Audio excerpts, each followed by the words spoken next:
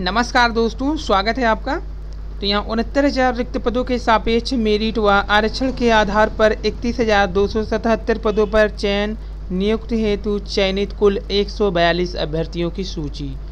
ये है संत कबीर नगर यहाँ पर सीरियल नंबर दिया है, फिर registration number, date of birth, caste name, उसके बाद गुणांक कितना गया है, नाम अलाउड डिस्ट्रिक्ट उसके बाद फादर नेम और मदर नेम। तो यहाँ पे जो जनरल का पहला सीट था संतानवे दशमलव सात ज़ीरो गया था। और सीटें 142 थी तो लास्ट सीटों पर भी जो चयन हुआ था, जनरल का गुणांक गया था इकसठ दशमलव छः आठ और यहाँ पे फादर नेम, मदर नेम भी दिया गया है। उसके ऊपर एक ओबीसी थी, जिनका गुणांक था इकसठ दशमलव आठ दो। यहाँ पर बता दें आपको संत कबीर नगर में उनहत्तर हज़ार के सापेक्ष जो इकतीस हज़ार दो सौ सतहत्तर लिस्ट पर भर्ती हुई थी उसमें 140, 141 और 142 यहाँ पे भी देखिए जनरल थे बासठ दशमलव ज़ीरो दो गया था यहाँ गुणांक एक सौ उनतालीस पे भी जनरल थे बासठ दशमलव तीन एक गुणांक एक सौ अड़तीस पे भी बासठ दशमलव चार छः गुणांक गया था।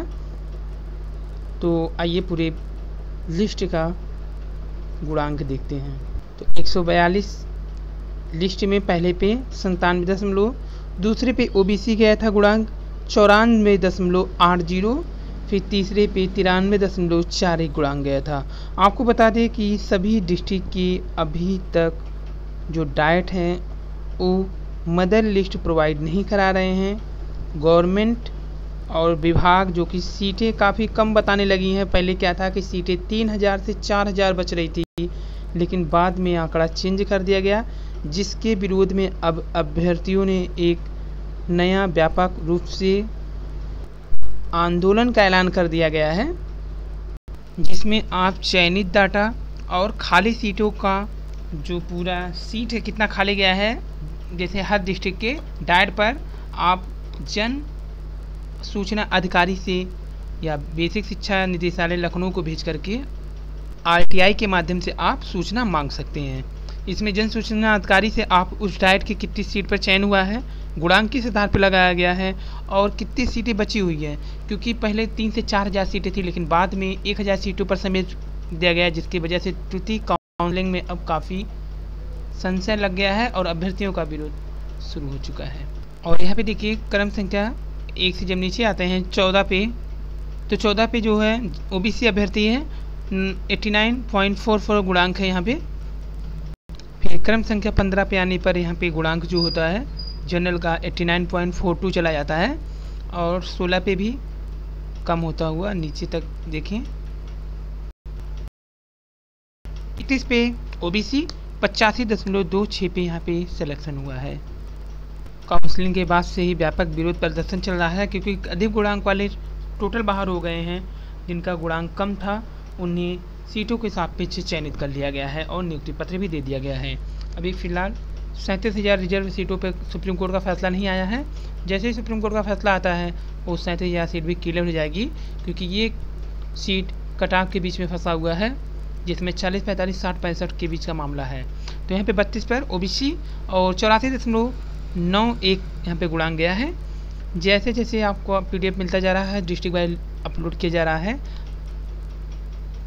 और यहीं पर उनचास पर आते हैं तो जो गुणांक है ओबीसी का पचहत्तर दशमलव तीन पाँच चला जाता है।